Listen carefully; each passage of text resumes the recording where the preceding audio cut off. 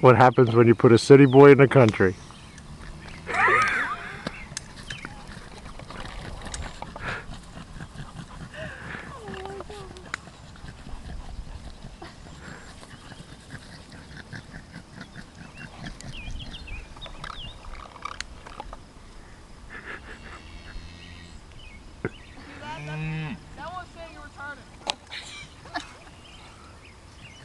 trying to police him. You go police him.